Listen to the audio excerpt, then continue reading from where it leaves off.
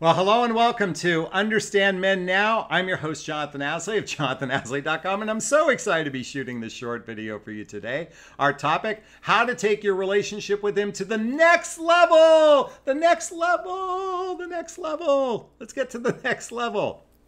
All right, really quickly, if you're new to my YouTube channel, please click the subscribe button and hit the bell so you can be notified of new content. I shoot about four videos a week. Our topic how to take it to the next level. All right. Um, you know, it occurs to me that, ladies, you literally have been so conditioned that a man is in charge of your relationship destiny. And if you think about it, the whole idea of marriage proposal is the man does the asking. The man does the asking.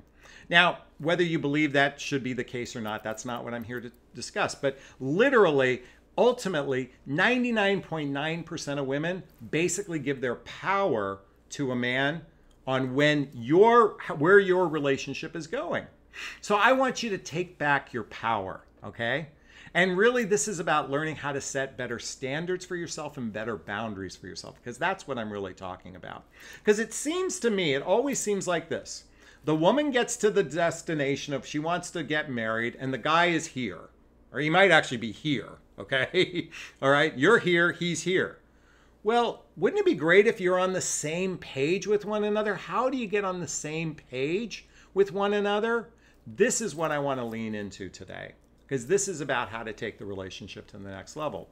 But before I do that, I want to introduce you to someone that I think can definitely change your life. And if you're not familiar with the work of Alison Armstrong, she has a book called Queen's Code Queen's Code. Alison is a, is a friend of mine. We've interacted on a number of occasions. In fact, I was blessed. Uh, she was doing a workshop with a couple hundred women. I happened to be there, and she said, She's not a dating coach, okay? She's more about helping you understand men just like I do. But she literally sat in the room of 200 women. If you need a dating coach, hire Jonathon Aslay. And I was flattered beyond belief that she would say that. So um, she's very well renowned. Check out her work. Alison Armstrong, the Queen's Code. Why I'm bringing this up is because a queen, a goddess, the feminine divine in you, whatever you want to call it, I'm just going to say the empowered you. The empowered you, okay, the empowered you knows clearly what they want in the form of relationship. Now, let me demonstrate this as an example because when I'm going to use how I demonstrate what I want in relationship, and let me see if this resonates with you or not. But in the early stage of dating, I'm very crystal clear. I say right up front, I'm looking to get remarried. Okay? If a woman has a problem with that, then I'm not going to invest time in, in developing uh, investing time in developing a relationship if we don't have that same goal. So I'm very crystal clear. I want to get married again. Okay. Now, I didn't always feel this way. In fact, after my divorce, I was anti marriage. I was anti marriage. And most people after a divorce go through a period of anti marriage. And in fact, a lot of people that go through divorce, and think about this 75% of people over 45 years old who are actively out in the dating world are divorced. So this is a reality that we're dealing with. And so if and a lot of those divorced people are anti-marriage because they've got hurt, they got burned, especially men oftentimes, not always because women have the same issue as well, are complaining about the financial um, challenges with marriage. Now, I'm not here to say you have to get remarried or have to get married. That's not what I'm saying. I'm just sharing with you how I establish my standard when I'm communicating with a woman. And my invitation is you set the standard for yourself. What is it? Is it moving in together? Is it getting married? Is it just having something casual? Know what that relationship is, okay? Because then you can lead from a place of clarity. Now, I'm going to talk about Alison's book in a second.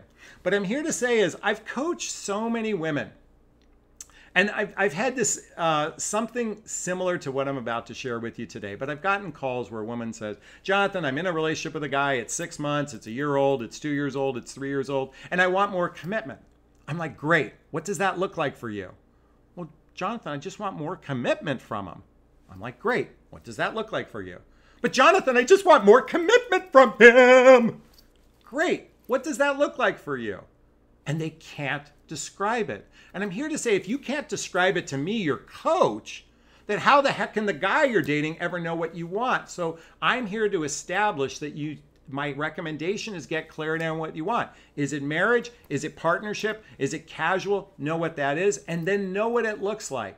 So for example, when I'm dating, I'm very crystal clear in the early stages of dating, I would like to spend three or four days and nights a week together doing shared activities, hobbies, mutual interests, spending time with family and friends, traveling, building teamwork to one another, and then eventually leading to partnership. Wow, I said that really fast. Okay.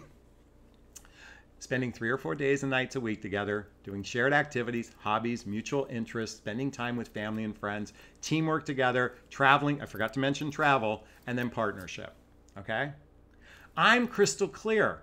Now, most men aren't. I get it. But my invitation for you is to get crystal clear on what dating looks like for you, what a relationship looks like for you, and what a partnership looks like for you. Because that's what a queen does. A queen knows. A queen knows herself.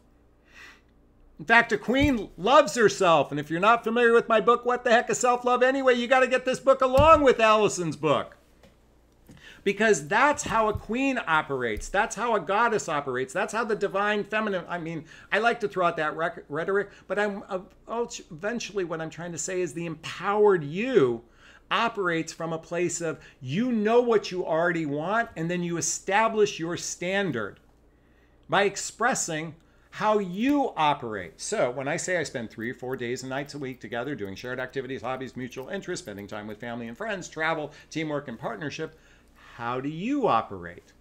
How do you operate? In other words, ask them what, how they operate.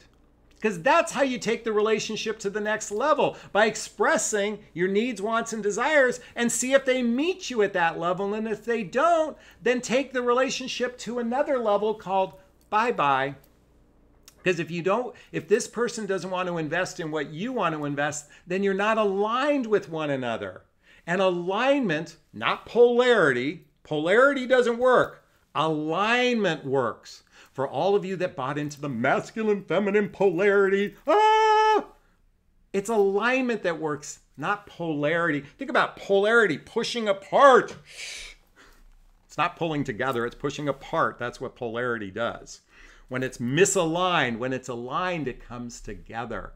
And that's my invitation for you. And establish what it looks like for you so you can be set for a healthy, happy relationship going forward. And that's what I'd like to hear you do. In fact, please tell me about your past relationship experiences here. And if you have a question, post a question. I read all the questions. I do my best to respond to some of them, but I read all the questions. You know it because I'll hit a like button or a thumbs up button. And and listen, I know it's challenging. This is kind of frustrating. But I, if you're ready to go to the next level for yourself by loving on yourself, you're ready to take the relationship to the next level and learn to get to the next level by being clear here on what you want from here and from here. Ah, wow, I said a mouthful. All right. As I said before, please post a comment or a question if you have. And if you're new to my YouTube channel, please hit the subscribe button Okay, and I'm going to wrap up this video as I always do, giving myself a big, gigantic Jonathan Bear hug of self love. I'm going to reach into the camera and give you a big hug of love. And I'm going to ask you to turn to a friend and give them a hug of love, hug of love, because hugs are a great source of love, and we can all use more love in our lives. Thanks so much, and wishing you a fabulous day. Bye bye now.